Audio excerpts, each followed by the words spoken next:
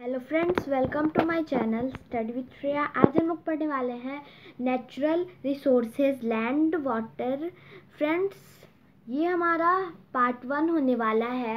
Chapter two SST का। Friends इस part में हम आज आप लोगों को tick the correct option B fill in the blanks और सी वन वर्ड आंसर करवाने वाले हैं। और इसके बाद जो वीडियो आएगा, उसमें शॉर्ट क्वेश्चन आंसर्स और लॉन्ग क्वेश्चन आंसर्स का सोल्यूशन आपको मिलेगा। चलिए फ्रेंड्स आज की इस वीडियो को स्टार्ट करते हैं। जैसा कि आप सभी लोग देख सकते हैं, हमारा जो फ़र्स्ट क्वेश्चन है, वो है which type of erosion leads to desertification desertification तो सॉइल इरोजन है, जिसकी वजह से डिजर्टिफिकेशन होता है।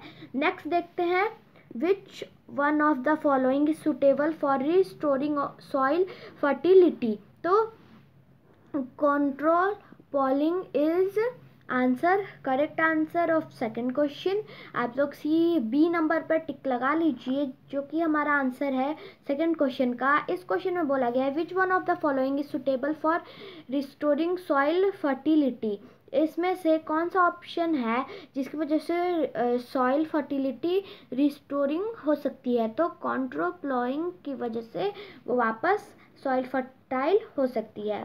फ्रेंड्स नेक्स्ट थर्ड क्वेश्चन देखते हैं। थर्ड क्वेश्चन है हमारा। Which of the following is not a favour of multipurpose river valley project तो large scale displacement of people ये वाला जो है वो हमारा मल्टीपर्पज़ रिवर वैली प्रोजेक्ट के लिए फेवर में नहीं है। Large scale displacement of people ये हमारा नहीं है फेवर में।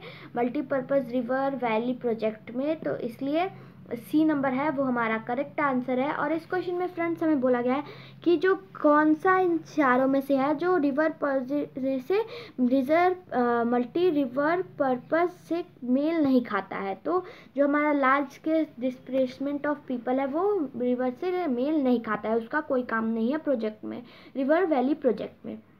नेक्स्ट देखते हैं फ्रेंड्स नेक्स्ट है हमारा फोर्थ क्वेश्चन जो है maintenance of lake and ponds is essential for इसका आंसर होगा इंक्रीजिंग वाटर टेबल इसलिए इन वाटर टेबल की वजह से ही हमें उसकी देखभाल करनी पड़ती है लेक और पॉन्ड की. नेक्स्ट देखते हैं which factor is more responsible for the quick formation of soil in Rajasthan इसमें पूछा गया है कि जो, कौन से फैक्टर है इन चारों में से जो रिस्पॉन्सिबल है soil quick formation of soil in Rajasthan के लिए। वहाँ पे इतनी जल्दी जल्दी रेत कैसे आ जाती है, मिट्टी कैसे आ जाती है? Extreme difference in day and night temperature extreme difference in day and night temperature की वजह से ये क्विक फॉर्मेशन ऑफ़ सॉइल होती है। नेक्स्ट देखते हैं फिल इन द ब्लैंक्स है नेक्स्ट हमारा, जो है earth surface is divided into dash and dash zone land and water zones next है हमारा to maintain economical balance dash of the land should be under forest thirty three percent हमें अगर economical balance को पूरा बराबर लाना है तो हमें थर्टी थ्री परसेंट लैंड है, उसको फॉरेस्ट को देना होगा। मतलब वहाँ पे जंगल उगाना होगा। फ्रेंड्स जैसा कि आप लोगों को अभी पता है कि कोविड चल रहा है और इसमें हमें कितनी ज़्यादा ऑक्सीजन की कमी हो रही है, इसकी वजह से ही कितने सारे लोग भी मर रहे हैं। अगर ये ट्रीज़ यहाँ फॉरेस्ट होते ट्रीज़ होते तो ऐसा बिल्कुल भी नहीं होता। नेक्स्ट देखते हैं जो है हमारा थर्ड क्वेश्चन वो है planting of trees is commonly known as afforestation friends cutting down of trees is known as deforestation and planting of trees is known as afforestation next देखते हैं next है हमारा the main source of fresh water is rainfall rainfall है वो हमारा main source है fresh water का क्योंकि जब बारिश होती है तो वो सबसे ज़्यादा मेन होता है लेकिन जब वो नीचे आता है धीरे धीरे लेवल में आता है क्लाउड्स के अर्थ के लेवल में तो जो गाड़ियों की फैक्ट्री की पोल्यूशन है, उसमें मिक्स हो जाती है और वो भी इम्प्योर हो जाता है।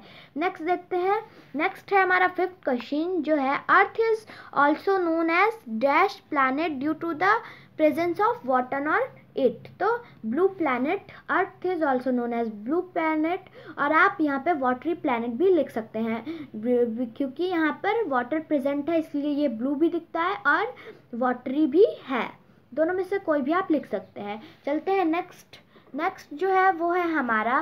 Write a technical term of an appropriate word for each of the following statements इसमें हमें एक वर्ड लिखना है। इन सारे स्टेटमेंट्स जो यहाँ दिए गए हैं, उनके लिए सिर्फ़ एक वर्ड इस्तेमाल करना है।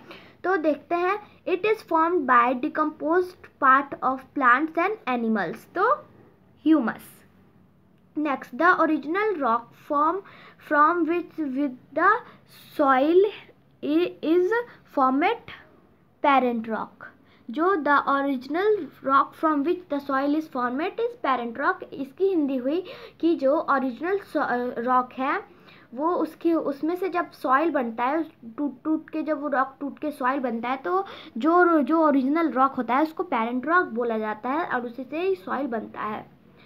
It is formed as a result of long continuous weathering process of rocks तो सॉइल सॉइल जो होता है वो वेदरिंग रॉक्स के वेदरिंग प्रोसेस से बनता है।